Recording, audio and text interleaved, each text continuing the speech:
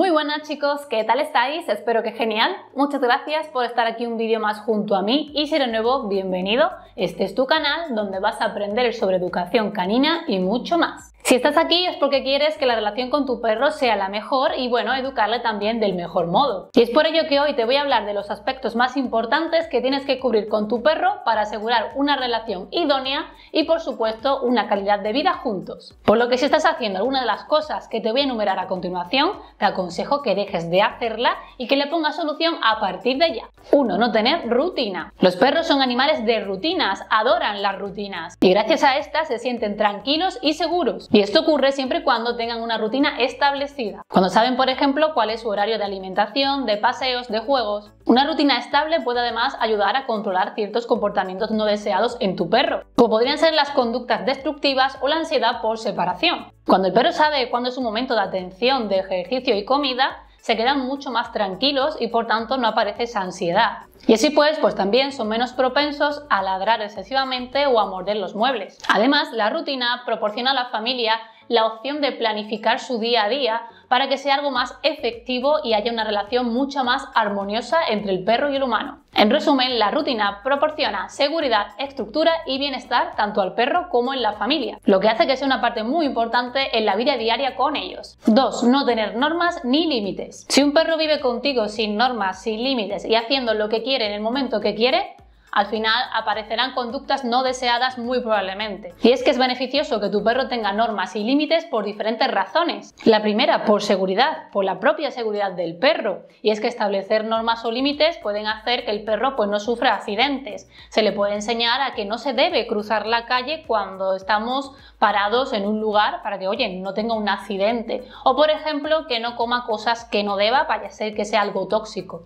También por control del comportamiento. Las normas claras y fijas hacen que el perro al final se adapte a nuestras necesidades y se comporte como queremos y como deseamos y por tanto que no aparezcan esas conductas no deseadas. Solo con normas y límites claros podremos controlar el comportamiento del perro. Esto incluye no saltar a las personas desconocidas, no morder cosas que no deba, hacer sus necesidades en el lugar idóneo. Por tanto, establecer unas normas constantes y fijas promueve que el comportamiento sea el deseado y no haya ningún tipo de problema en nuestra relación. Por tanto, también es beneficioso por la relación perro-humano. Establecer límites favorece y fortalece la relación que tengamos con nuestro perro, porque no se nos puede olvidar que los perros son animales muy jerárquicos y necesitan saber quién está a cargo para sentirse seguros y tranquilos. Y es que al establecer límites y normas de manera consciente, el perro tiene y sabe cuál es su lugar, su posición en esta jerarquía, haciendo esto que la relación con nosotros se vuelva mucho más armoniosa. Y por supuesto también por el bienestar del perro. Y es que los límites y las normas provocan una estructura en el comportamiento del perro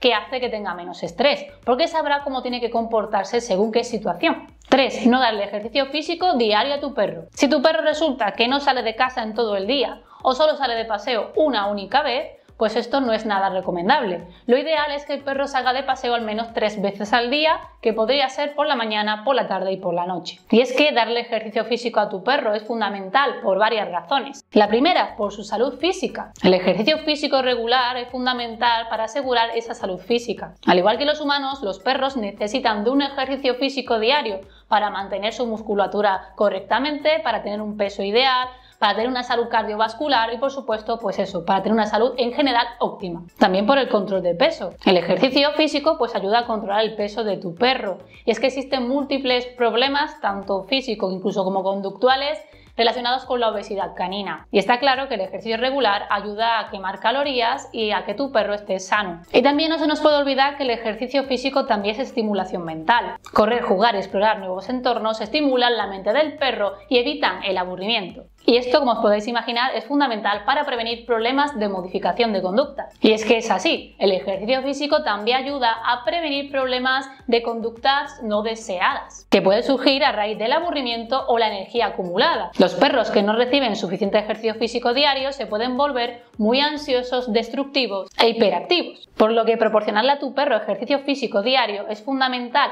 para consumir esa energía diaria que sea mucho más tranquilo y que así podamos prevenir problemas de conducta no deseadas. Y por supuesto el ejercicio físico también favorece al vínculo que tengas con tu perro. Y es que el ejercicio físico compartido fortalece el vínculo perro-humano. Y es que pasear juntos, ir al campo juntos, a la playa, correr, hacer ejercicios de agility, son actividades que fomentan la conexión emocional y la confianza mutua. El cuarto aspecto que también arruina vuestra relación es no tener una comunicación efectiva entre vosotros. Establecer una comunicación clara con tu perro será fundamental para tener una relación sólida con él. Por tanto, usa el lenguaje corporal y sé congruente.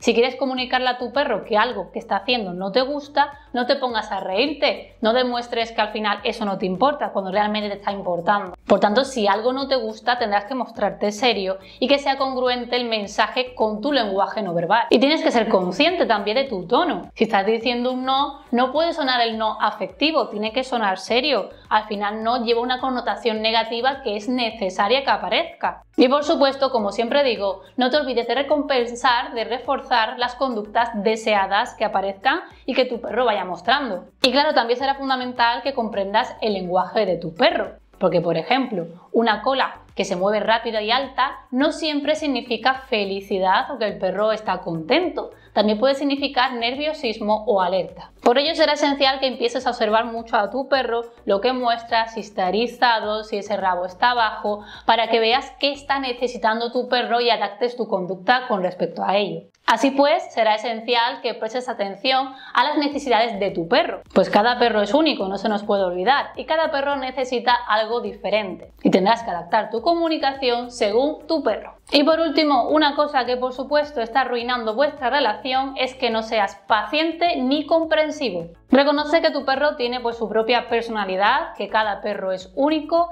y a lo mejor tu perro necesita más tiempo para aprender que otro perro. Por tanto, debes ser paciente y darle su tiempo y apoyarle para que poco a poco tu perro vaya aprendiendo. Debes ser comprensivo porque el proceso de aprendizaje requiere de tiempo, de un poco a poco y de generar incluso un hábito. Y es que la paciencia es clave para que el perro se adapte y aprenda poco a poco y a su ritmo y del modo positivo que tanto deseamos para que la actividad pues sea amena y no sea algo que tu perro no quiera hacer contigo. Y es que tu impaciencia o frustración puede generar emociones negativas, ya no solo en ti, sino también tu perro, y que al final la relación pues se pueda romper. Por tanto, ser comprensivo y paciente ayuda a ambas partes para reducir el estrés y para generar un ambiente idóneo y sano para que el aprendizaje ocurra. Entonces, que no se nos olvide que ser paciente y comprensivo durante el entrenamiento canino facilita el proceso y el aprendizaje. Y por supuesto aumenta las probabilidades de éxito. Los perros son mucho más receptivos a aprender